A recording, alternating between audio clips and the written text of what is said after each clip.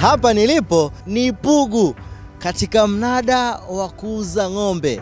E, tumekuja kuchukua ng'ombe wetu mwananchi.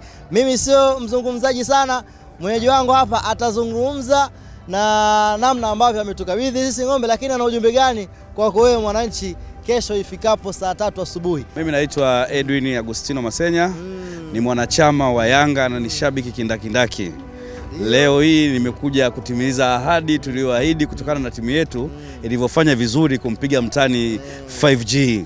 Mnara wa 5G Mnara umesimama na umesoma na utaendelea kusoma. na utaendelea kusoma inshallah. Kwa hiyo leo nimekuja kutimiza ahadi ambayo iliwekwa na mkurugenzi wangu anaitwa Huseni Makubi Ngasa kutoka Geita kuwakabidhi eh, wananchi ng'ombe ng'ombe wao hawa hapa ili kesho watu wapate supu asubuhi kama ilivyoandikwa. Mimi nawaomba wananchi wote waliopo Dar es Salaam na mikoa ya jirani kama wanaweza kufika wafike kesho saa tatu.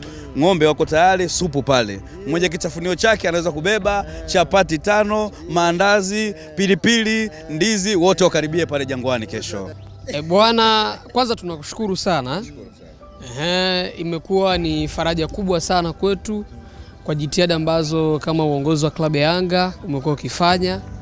Tumekuwa na rais ambaye amekuwa na maono eh, ni rais ambaye kila mtu anatamani angeendelea kubaki Yanga miaka na zaidi na zaidi kwa sababu ya furaha ambayo tumeipata. President Engineer Hersi pindi kifupi kabisa ameweza kuja katika klabu yetu, ameleta mabadiliko makubwa, mabadiliko chanya.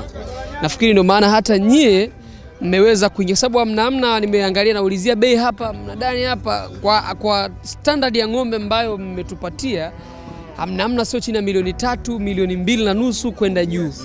Nafikiri wachezaji wetu wameweza kuona uh, thamani ambayo ipo katika mioyo ya, ya, ya, ya mashabiki zetu ambao wamekuwa wakisapoti klabu hii, alama ambayo mnaacha kwenye mioyo ya wachezaji wetu, deni ambalo mnaacha kwa viongozi wa timu yetu, naamini ni dira sahihi na taswira ya ni wapi tunapaswa kwenda na tunapaswa kufanya nini. Unakunywaga supu ya nini? Ba, Supu ya na, napenda maini kwanza. unapenda kwenye kisusio eh bwana eh.